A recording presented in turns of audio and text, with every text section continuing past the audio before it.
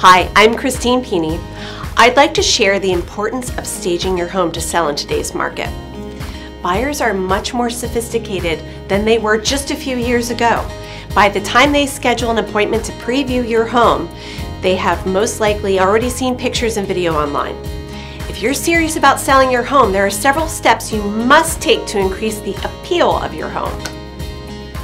Let's start by looking at curb appeal. Try to look at your house through the buyer's eyes. If it's broken, fix it. If it needs painted, paint it. Keep it clean, neat, and well manicured. At night, make sure it is well lit. Remember, potential buyers form their first impression when they pull into your driveway. When looking at the inside of your home, house hunters are thorough. They look in cabinets, drawers, closets, pantries, and more. Storage sells houses. It ranks high on most buyers' priority lists. That's why it's important to clean out storage areas and only keep what's necessary. Always keep the countertops clear.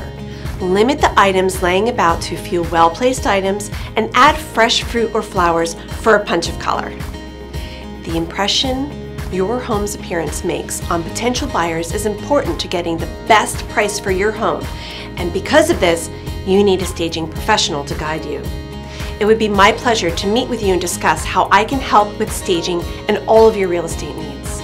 My success rate is proof I deliver results. This is my job and I love it. Let me help you. Again, my name is Christine Pini. I look forward to meeting with you soon.